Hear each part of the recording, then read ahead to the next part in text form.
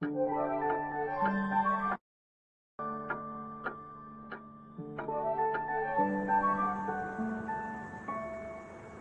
様こんにちは。タイムレスキッチンのお時間でございます。今日はですねとっても素敵でお元気なあの方にお会いするために吉祥寺は井の頭公園にやってまいりました。いやー気持ちいいですね井の頭公園はあーおはようおはようございます谷原さん。すいませんわざわざこんなところまでお出迎えいただいてありがとうございます。今日はよろしくよろしくお願いいたします。はい。今日はもうあの鈴木さんのはい。美味しいお料理と楽しいお話を魚に。あ私も楽しみにしておりました、よろしくどうぞまあはいとってもパープルがお似合いあらでそう。だってこんな方に顔の方に目線いかないようにね。なるべくこっちに目線が行くようにしてるつもりで。いやもう顔も揃ってもう素敵です顔なんてあなたそんな92歳のばあさんにあなた よく言ってくださいますわ。いやいやもう今日も素敵ん。まあよろしくどうぞ。バーバの愛称でおなじみ料理研究家の鈴木時子さん。秋には92歳になります。こちらのお出汁が今ゆらゆらしてきましたのでもう取り出しますよ日本の家庭料理の魅力を伝え続けて半世紀。いつも大切にしてきたのは丁寧に引く基本のお出汁です。中でもバーバが今忙しい人たちに特に勧めたいと思っているもの。それが水につけておくだけで風味豊かな出汁が取れる煮干しや焼き干しの出汁です。ず朝は味噌汁は煮干し。いいお出汁よ。口の中お出汁だらけ。うん。誰もが笑顔になる真心を込めて引いた極上の出汁とバーバのとっておき出汁が決め手の夏にぴったりの料理を教わります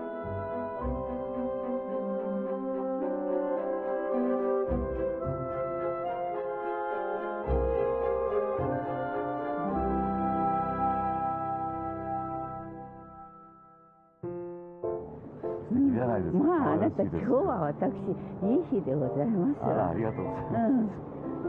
本当。あこちらがお宅ですね。はいそうですよ。じゃあ早速参りましょうはいお願いします。ははいいはいはい、はい。ありがとうございます。はい。はい、あはい。りがとう。出しますね。はい。こんにちは。失礼します。こんにちは。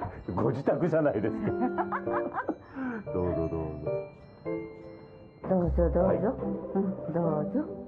はい。素敵なお宅で。ここ左手のこっちがキッチンですよ、がはいはい。とても働きよくできております。うん。いつもじゃあお教室はこちらで開かれて？そうです。うなんですね。うんあの多いクラスはね、はいはい。もうちょっとお窮屈ですけど10名のクラスここで10名。そううちはお付近大臣なの。お付近大臣？じゃーんと開けました。ほら、まあお付近も大臣じゃないですか、うん、それはこれは大津和服の。あこれは私の手拭き。用途によって分かれてこれはるんですね。まな板、はい。でこちらのガーゼでできた大きいのは、はい。塗り物を一度これで拭いてから二度拭きをするの、うん、お付近大臣だからいっぱいあるわよ。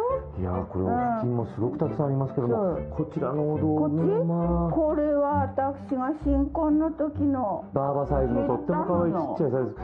減ったんです。もともとどれぐらいあったんですか？これぐらいこれね70年も一緒にいるわけだから。なんだかこうやったら何か見たい？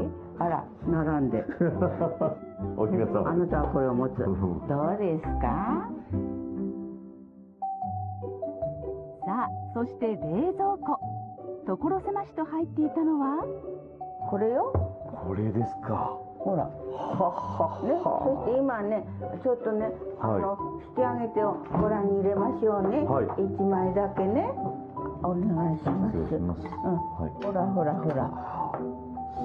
ほら。お水には入れて冷蔵庫に入れといたらいいの。これは昆布を入れてその中に水を足しただけの状態煮てもいないんですねみ水出しなの。そうなんですかそうなの。だから昆布って面白いでしょ。これが海の中のこう歌歌ってたらねと思います。うすごい金色の出汁がそうです。出てますそうです。見てくださいこれでこの金色これはね昆布だしはまたはい。ちょっといろいろ使い道は白身のお魚の時は役に立ちますよ。うんそれから普段のお味噌汁とかなんかは、はい。あの煮干し。煮干し。うん。毎日の食事に使うなら手頃で使いやすい煮干しがばあばのおすすめです。ほんのちょっとのひと手間で食べる人が喜ぶ美味しい出汁が取れると言います。これね、はい。への字があるでしょ？あこれは新鮮なの、これ新鮮なんですか？そうです。そう。あこのまっすぐなのはそんな新鮮ではないあのお仲間だけど目安としてはこれが入ってたら全体が息なるほどがいないと思っていいのよ。への字のお魚が入ってるいりこ煮干しだったら新鮮なものだと。新鮮ですよ。うん。でこれね、はい。あの頭と腹と一緒にあの取りましょうか、はい。頭と腹はね、はい。腹は苦いし、はい。このね指先爪の先でここ持って上にこうやって取るのほらああはいはい取れました。そう。そしてここちょっと軽くね、はい。開くとこれが松葉になるわけ。あ。そしてほら綿。この綿が雑味そうねなんですか？なるべく外した方がいいわよ。あら今上手に取れたね。これも綺麗に取れました。あらよかったの。もうもうどう？そうやっぱよ最近はなかなかはい。あのやらないですね。そうそう。今の人何でもほらペッペッて振ればいいの使うからよ、これもでもやっぱ昔ながらの知恵ですそうですそうです。お母さんはお利口だったのよ。ばあばのお母様からそう教わったそうおんです千代さんっていうの。お千代さん。そう。それを伝えたいの私はね。だってもうだんだんそういう人いなくなるでしょ、そうですね、うん、これをあの取りましたので、はい。これからお出汁に入りますね、はい。ここにお酒をちょっと入れるの。これなぜお酒入れるんですか？お酒入れるとね、このやっぱり煮干しも何でもそう癖があります。頭と綿を取っても癖が残ってるんですね。そう。ですからそれを和らげるため。なるほど。ね。それでこれを、うん。あのはい一晩置きました、はい。で一晩置いておいたものがうん。こちらですね。そうです。これ全然も違いますね色がそう。色が。ねだってはい。ほんのりもう色が出てますが、はい。はい。これいいお出汁ですねはい。これやっぱりあの一晩置いておいて火にかけるのと直接かけるのとやっぱお味は多少変わりますか？こっちはじっくりあのお出汁が出てます。これはねまあそれはそれで味はいいんです。うん。どっちも味はいいの、はい。忙しい時はこれでいく、はあね、お時間があったらこちらということで、はい、はい。じゃあかけさせていただきます火加減はどれくらいですか？か火加減はね煮立つまでは強火。あ煮立つまでは強火、うん、で煮立ちが来たらね中火にしてください。ぐらぐらとちょっとそうあんまり暴れない方がいいわよ。なるほどなるほど。いやじっくりとお味が出た方がいいですね。そろそろ沸いてきますか、はいまだですか、うん、ちょっと泡が若干出てきました、ここでアクが気になるような時はね、アクは引いてくださっていいの。だいたいこう向こうの方へこうやってねこうしてあの鍋のへりに沿わせてこうして引いていくんだけどね。ほら少し出てきましたね、はいやっぱりねアクは何でも持ってますからね。私もアクだらけなもんですから引いてもらいたいですよ。うん。そうよでも毎日のことだからアクも味のうちってこともありますからね。あんまり神経質にならなくていいと思いますよ。でもどなたかお呼びする時はね一生懸命気をつけてアクも引きましょう。きれいに仕上げましょうっていうのがあっていいんですやっよぱ晴れの日のお料理と日常の手の日のお料理は全然違うですね。ちょっとお味見を出しますね、はい。うん。温めた方が味がよくわかる。ねありがとうございます、うん。うん。ああ。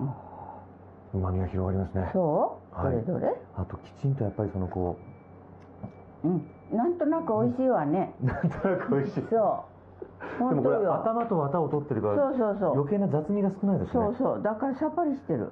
はあ、うん。違うわよね。全然違いますね。だからお出汁は大事っていうのよね45分間煮出したら煮干しを取り出し風味豊かで雑味がない極上の煮干しだし出来上がりです。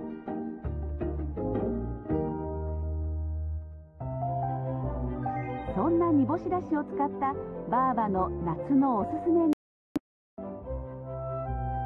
具だくさんの牛肉と豆腐の味噌汁。ばあばにとって思い出の味でもあります。っと変わっておりますけれどね、私の父の大好きだったね牛肉とささがきごぼうとはい。色紙のお豆腐の入ったお味噌汁を作ってみましょう。色紙のお豆腐の色紙ってどういう意味なん四角に切ってあったら色紙握りっていうの。そういうことなんですね。それから短冊だったらほら味噌一文字をあのそらそらそらと書く。七夕様のあれ短冊切り。うん、そうそうそう。そうなんか？らこれをちょんちょんちょんと1センチぐらいに切ってちょうだい、1センチ弱でいいんですね、うん、弱でいいわよ。あんまり薄いと美味しくないから、うん。はい。そのくらいが美味しいと思いますよ、うん。そうです。がこれは牛肉はねちょっと油がありますけれどうん。このくらい油があった方が美味しいんですよ。ごぼうともよく合いますしね、はいはい。はい。そして一口大に切っておきましたよ。これでも牛肉のお味噌汁って珍しいですね。そう。ですよ。美味しいのよ、これはどんな時にこの牛肉のお味噌汁が作ってそれはお酒の途中であのお味噌汁って言ったらこれ大好きで喜んでたのよ。あそれで私がいつもねおお給仕するでしょ？えーはい。そうすると「あんしなさい」っていうの。そえ。えれで私は食べさせてもらってた。お父様に。そう。その次にごぼうです。はい。ね。芯からね今細いけど柔らかくて美味しいの香りもいいのよはいこれねささがきごぼうをね。ささがきのコツを教えていただけますか？コツはねはい。ちょっとここ取りますね。そしたらねここに細く包丁を入れてちょうだい浅細くっくてのはもうそう。えーと浅くですか？そうそうそう。これぐらいでもそうそうそう。貫通しないぐらいですか？そうそう。いいのいいの。それからねささがきするとね綺麗ですよ。ああなるほあのお水用意しますね、はい。そして酢水なのあのアクが強いからここにお酢を用意してますね。このくらい入れるかったらね、はい。このくらいなの。ど、まあ、ほんのちょこっとでいいんですね。ちょっぴりなの。これたくさん入れたら酸っぱくって今度はねあのおごぼうがまずくなるから。でこれはね今度はね、こういけばいいの。やってごらんになる？はい。はい。あら、お上手、なんか手つきがいいわね。ああ、お料理はお好きでしょ？作るの。そうですねあの作るの好きです。うん、食べるのもね、綺麗だわ、あなた上手よ。あありがとうございます、うん、ばあばに褒められました、うん、お上ばあば、ではね。えーささがきがある程度終わりま手。した、この後どうしお上手はない。ささがきです。ありがとうございます。それでね、はい。あの酢水に話しました、はい。アクが出てきました。すごいですねこれ。これをこのまま置くとまた戻りますのでおー。だから長くつけておいちゃいけませんよ。だから、はい。そのざるに開けてお水を通しましょう。はい。はいあきれい。きれいねえあなたなんだからとってもお上手でびっくりよびっくりポンですよ。びっくりびっくりなんですか？そうそう。うん。あ沸いてきました。よ。そしてねそう。はい。お肉入れるからこれはね牛肉は美味しいものですね。昔はこれほど食べなかったんだけれど今はもうお肉もいろんなしいただきますからね。でここでごぼうが入りますか。でねすぐ出来上がるようにもうここにしておきましょう。はい、はいうんこれもいいわよ。そして今度ここでお味噌を溶きますか、ちょっとこれね最後にお酒ひとったらし入れますから美味しくなりますのでね。お豆腐入れて火を止めまはい、しょう、お豆腐入れます、風味付けのお酒をひとたらししたら豆腐を温めて出来上がり。力強い煮干しの出汁はごぼうや牛肉との相性も抜群。栄養満点。夏バテ解消にもぴったりの一品です。しみじみ美味しいと思いますよ。あとは白いご飯とね何かあればね立派なお献立に本当なります。にしみじみ美味しいですね。ねちょっとそのあなたの上手なささがきはね、うん。もうさっと入れただけでいただけます。上手に、煮干しの旨味とごぼうと牛肉って合いますね。本当なんですね。そそしてそこにこのうん、淡白なお豆腐があるのがこのバランスがいいですね。うん、絹ごしがいいですよ。ううん。ん、あこれは贅沢。夏のおすすめのお味噌汁って思いません？いや思います。ね元気になるわね。あとあのうん。体の中にこう温まりますんで。そうそう。汗かいてやっぱこう、うん。冷房とかで体冷えてるじゃそうないですか。なのね。とってもいいですね。うん、それと簡単ですよね。い。やこれ早速家でやります。うん。どうぞお試しになってください。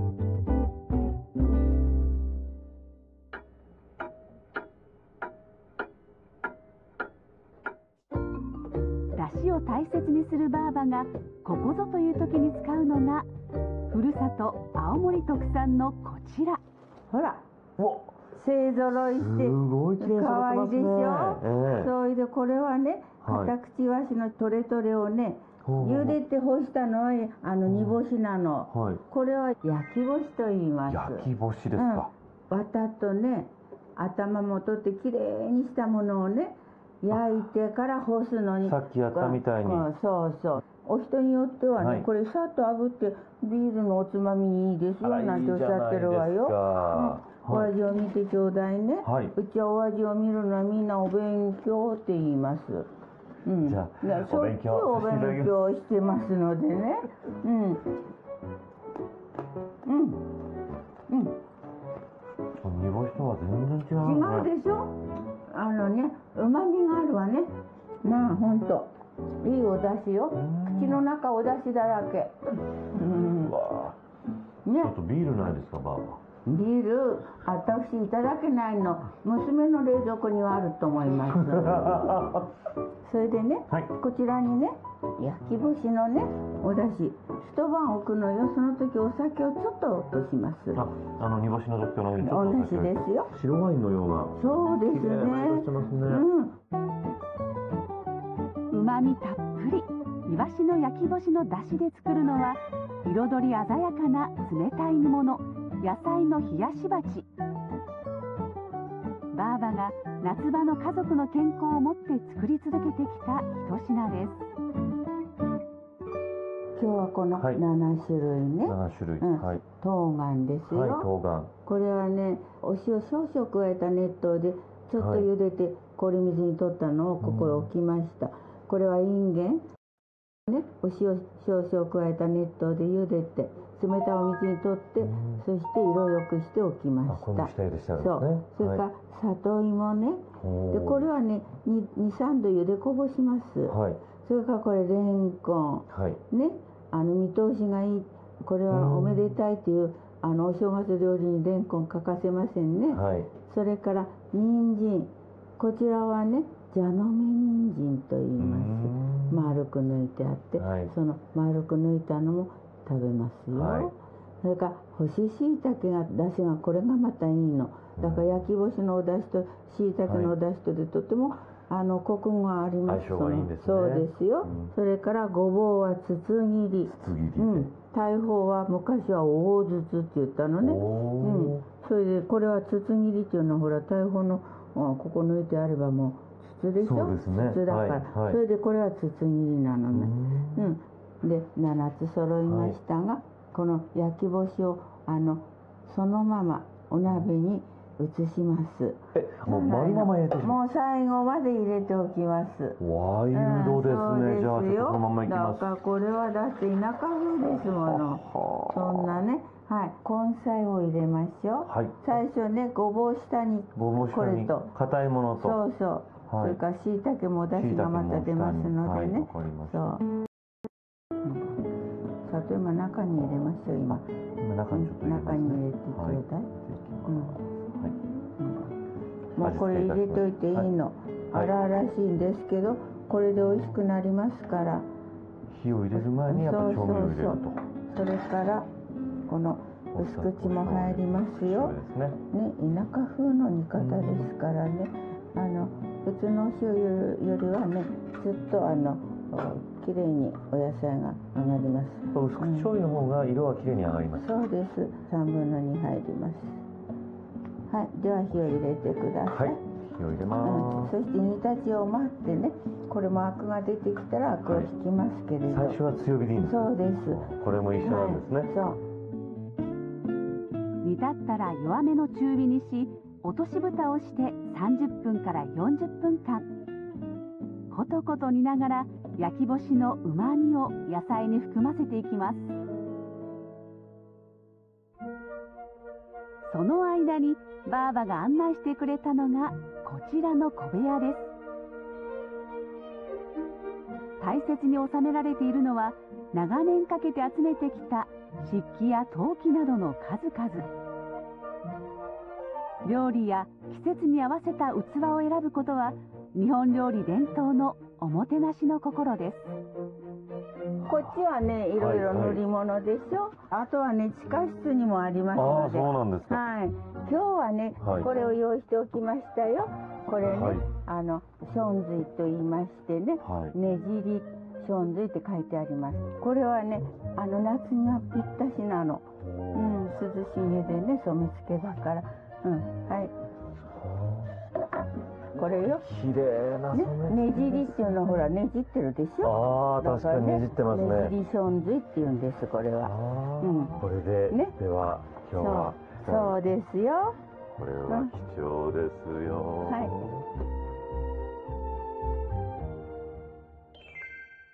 さあ、ばあば30分経ちましたよ。あもうそろそろですね。はい。じゃあちょっと試してみましょうか。はい。うわー美味しそう、ねこの里芋。わあ。どうですか？いいですいいよ火加減ですか？火そうですよほら。スッてほ入りますね。ら美味しそう。じゃあこれを加えましょうか、インゲンと冬瓜を。そうですよ、はでこれはねちょっとだけあの温める程度に煮て火を止めておくとね冷める時にお味が染みますから。なるほどなるほど。そうですよ、うん